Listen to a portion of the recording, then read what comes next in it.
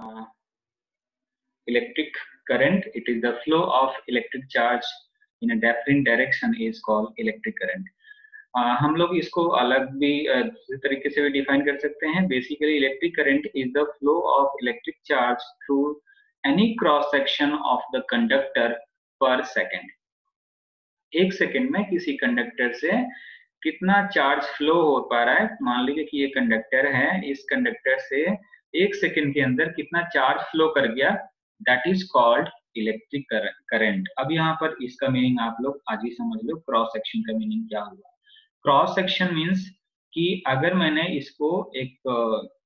Rod या फिर wire में कह दिया तो दोनों साइड में उसका कुछ ना कुछ पार्टिकुलर सर्कुलर एरिया हो रहता है।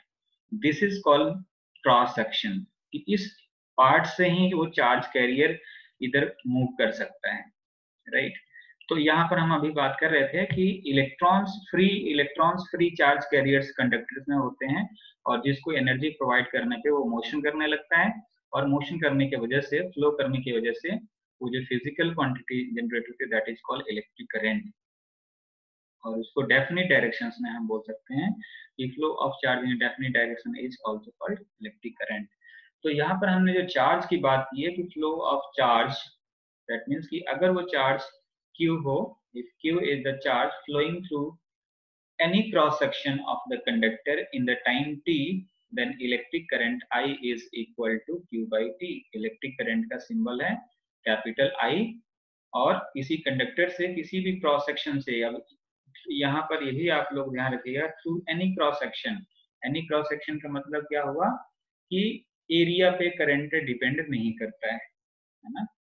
through any cross section either हम इसके एरिया को इंक्रीज और डिक्रीज करें क्रॉस सेक्शनल एरिया को इंक्रीज और डिक्रीज करें तो उस पर कोई फ़र्क नहीं पड़ेगा राइट right?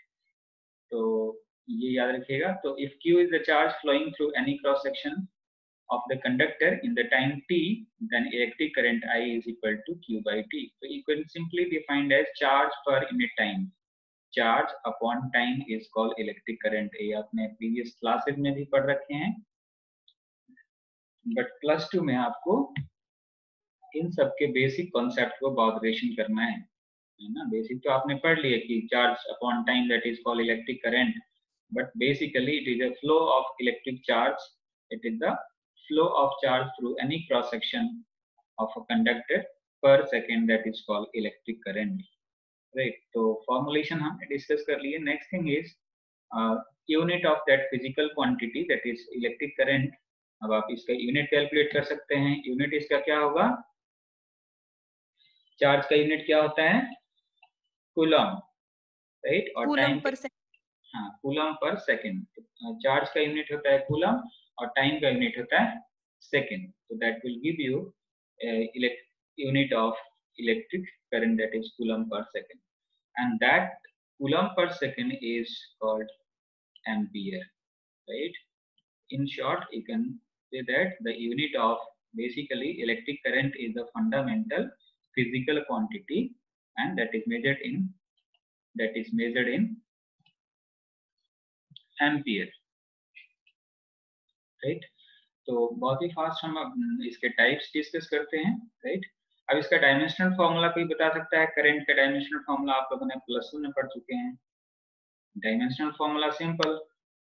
इसका dimensional formula square bracket A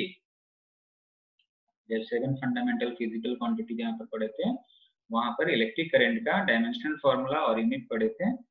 right तो यूनिट एम्पियर और dimensional formula square bracket capital A that is the dimensional formula of electric current तो यहाँ पर हम लोगों ने डेफिनेशन डिस्कस कर लिए। Basically electric current is the flow of charge in definite direction is called electric current formula हो गया I is equal to Q by T उसका यूनिट हो गया कूलम पर सेकेंड राइट और उसका एक जनरल यूनिट हो गया that is ampere dimensional formula हो गया स्क्वायर ब्रैकेट ए तो what are the various types of electric current so there are various uh, there are mainly three types of current that is first is steady current second one is varying current and third one is dynamic current like